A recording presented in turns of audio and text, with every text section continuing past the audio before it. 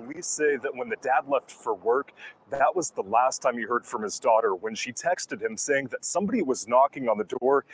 And what they say, they, they said that there was no signs of forced entry. mandar su cuerpo, pues necesito ayuda para. Families and police are trying to figure out who killed 11 year old Maria Gonzalez at the small apartment complex on Main Street in Pasadena. Police say she was sexually assaulted. Últimos audios que- Carmelo Gonzalez is Maria's dad. Estaban tocando la puerta. Gonzalez told us Maria texted him after he left for work Saturday morning. She said someone was knocking on the door. Family members then went to check on her, but they didn't see or hear anything.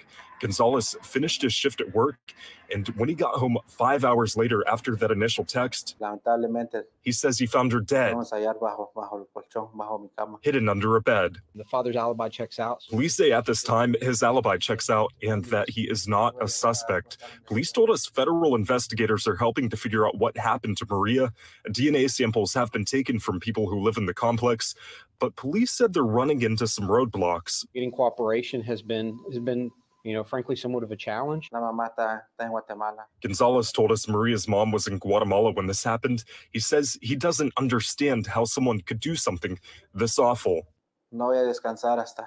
He told us he is not going to rest until he figures out exactly what happened. We don't know if they're operational. There were security cameras, but police say it's unclear if they were working at the time. Reporting in Pasadena, Giovanni Ligi, ABC 13 Eyewitness News.